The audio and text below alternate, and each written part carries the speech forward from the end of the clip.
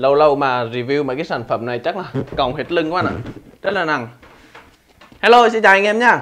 Thì hôm nay mình sẽ mở hộp một chiếc màn hình rất là to luôn các bạn ạ 32 inch này đến từ cái thương hiệu là A8 với cái độ phân giải là 4K các bạn ạ thì màn hình A8 thì trước đây mình cũng đã review các bạn xem một chiếc rồi. Thì không biết là hôm nay chiếc này như thế nào. Về con này thì nó khá là nặng các bạn ạ mình mà lâu lâu mà review sản phẩm thế này chắc là ốm ra đấy. À, thì bây giờ mình sẽ mở ra và xem thử thế nào cái đá À cái con này thì đang được bán ở bên là Smart New là giá hơn 8 triệu đồng một xíu các bạn ạ. 8 triệu 390 nghìn đồng. Ở cái dịp này thì đang khuyến mãi rất là nhiều. Còn mà giá bình thường ở trên Shopee thì mình thấy bán là giá hơn 9 triệu đồng các bạn ạ. Và đây là một chiếc màn hình cao cấp của A8 các bạn. Trước giờ thì mình thấy A8 thì người ta chỉ à, sản xuất những cái màn hình giá rẻ thôi. Hôm nay mình được mở hộp một cái sản phẩm cao cấp đến từ à, thương hiệu A8 Nói chung là link mua hàng cũng như là mấy cái link ở trên Shopee ở trong phần mô tả nhé các bạn. Các bạn có thể vào đây để xem. À nếu mà mình xin được một cái mã giảm giá từ bên Smart New ấy, nó rơi khoảng đâu đó là 200 nghìn hay là 300 nghìn thì mình để trong phần mô tả nhé đấy là nếu mà mình xin được. Đó, thì bây giờ mình sẽ mở ra xem thử thế nào. Wow, cái này chắc là mình sẽ cắt video các bạn ạ. Đây rồi, mình đã lấy được rồi các bạn công nhận lắp một cái màn hình này cực kỳ khó khăn đấy. Nó không khó về à, về lắp đặt đâu nhưng mà tháo ra thì hơi vất vả một xíu các bạn ạ đây các bạn này một cái màn hình rất là to. Chân đế các bạn. Màn hình cao cấp có kháng này được làm chân đế rất là đẹp. Cái này thì sẽ gắn vào chỗ này. Rồi anh em ạ à, như vậy à, mình đã lắp xong cái màn hình này rồi. Đây là một cái màn hình mình thấy rất là to các bạn ạ. Từ trước đến giờ mình mới thấy cái màn hình này.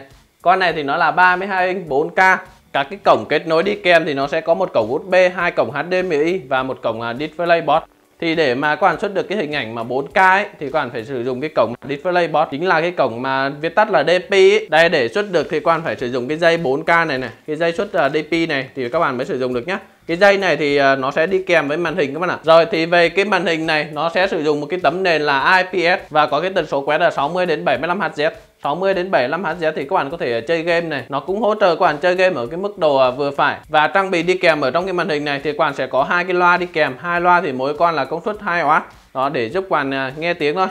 Đấy, thì về cái con màn hình này thì nó có thể quay được những cái góc độ khác nhau các bạn này. Đó. Con này rất là to nhé các bạn. Đấy là mình à, quay hơi xa một xíu nên là các bạn nhìn nó sẽ nhỏ hơn. Đấy, có thể quay rất là nhiều góc độ khác nhau các bạn à, rất là phù hợp cho những anh em nào thiết kế design ấy. rồi và con này thì nó có thể quay ngang được này nữa này. Đấy thì con này nó chỉ quay được như vậy thôi các bạn ạ. Mà mình cũng không biết là nhà sản xuất thiết kế kiểu quay như thế này là để với mục đích gì. Đó thì nó vẫn có thể quay được ngang như thế này nhé và bên này thì nó sẽ không quay được các bạn ạ. Bên này thì nó sẽ cứng lại chỗ này. Đấy quay ngang này này. Cái này mình tưởng là nó quay đứng màn hình lên nhưng không phải nhá và cái con này cũng có thể nâng hà được. Đấy. Có nâng hà thấp xuống này. Ở đây là mình đã nâng kịch kim rồi quan ạ. Mình sẽ chỉnh cho nó bằng bằng một xíu nhá. Đó. Và mình có thể kéo lên. Cái này thì rất là nhẹ nhàng quan ạ. Ở bên sau này thì nó sẽ có một cái chân đế để giúp quà có thể tinh chỉnh màn hình, chỉnh thấp hoặc cao, dành cho những bạn nào mà thấp cao ấy, các bạn à, tùy chỉnh.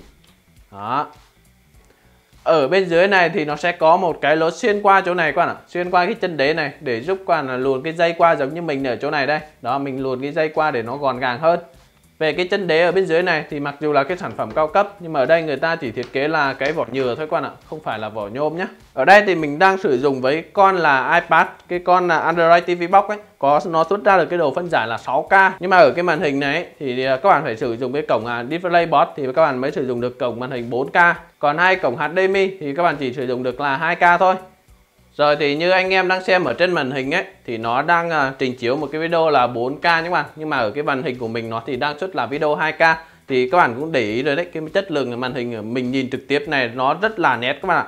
Thì con này nó có cái tấm nền là IPS và cái góc nhìn của nó nó có thể lên được 178 độ các bạn ạ. Nhưng mà mình nhìn thấy ở đây thì nó thực sự nó vẫn chưa được hoàn hảo cho lắm các bạn ạ. Cái này thì mình nghĩ rất là phù hợp cho những anh em nào thiết kế design, làm về đồ họa ấy, hoặc là anh em nào chơi game thì nó vẫn hỗ trợ thoải mái cho anh em chơi game. Thì 75Hz thì nếu mà anh em nào chơi game ấy thì nó cũng chỉ ở cái mức độ vừa phải thôi các bạn ạ. Được cái là nó có thể hỗ trợ góc nhìn các bạn này. Đẩy lên đẩy xuống rất là mượt mà. Đấy. Đẩy lên này, kéo lên này. Nó rất là êm đúng không? Và cái góc của nó nó có thể điều chỉnh được nhiều hướng khác nhau. Đấy. cái hướng này thì mình cũng không rõ là nhà sản xuất thiết kế để làm gì nữa đó. Còn à, quay ngang quay trái này. Đấy. Có thể quay được rất là nhiều hướng khác nhau các bạn. Ở đây thì mình nhìn trực tiếp thế này thì thấy màn hình nó cực kỳ nét luôn nhá. Rồi thì à, mình sẽ đánh giá về ngoài hình của chiếc màn hình này nhé bạn. Về ngoài hình của chiếc màn hình này mình thấy được thiết kế tương đối là mỏng quá nè ở cái viền này này để mình cho các bạn xem nhá. Đó. Các bạn nhìn từ bên sau này này. Đây là cái viền của cái màn hình các bạn đó, thì các bạn có thể thấy này, cái viền này nó tương đối là mỏng quá ạ. So với cái màn hình 32 inch thì như thế này là ok rồi. Mình thì mình không thích cái màn hình nó mỏng lắm đâu các bạn ạ. Mình đang sử dụng một con A8 đấy đây, mình sẽ lấy các bạn xem nhé đây các bạn ạ, mình à, đang sử dụng một con màn hình A8 này để à, mình sử dụng cho máy tính của mình.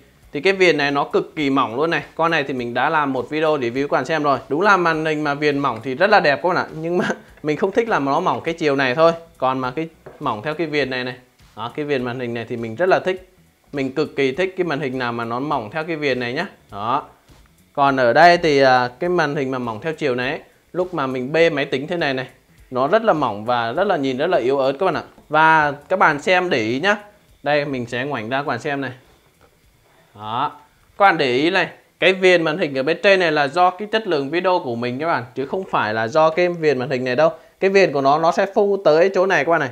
Thì đây là cái viền thật của nó các bạn. Cái viền của nó nó sẽ mỏng ở, ở sát ngay chỗ này này. Đó thì các bạn xem ở trong video các bạn thấy đấy thì nó sẽ khác biệt lúc hồi nãy nhá. Về cái viền màn hình này thì mình thấy nó tương đối là mỏng thôi các bạn ạ chứ nó cũng không phải là mỏng cho lắm. Đó.